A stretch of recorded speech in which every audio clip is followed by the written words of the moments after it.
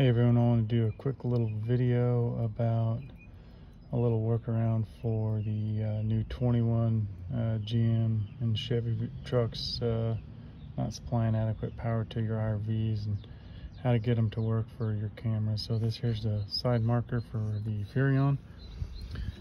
Again, all you're doing is tying it in like you normally normally would.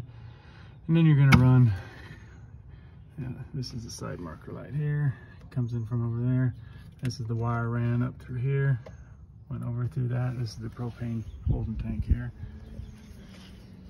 Come in over on the battery bank side.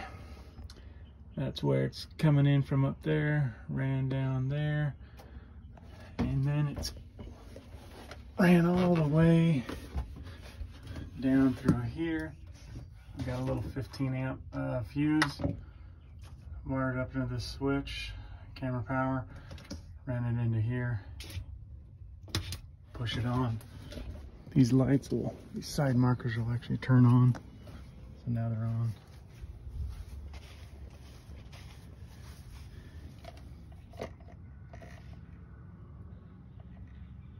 And you can see the camera's working, so.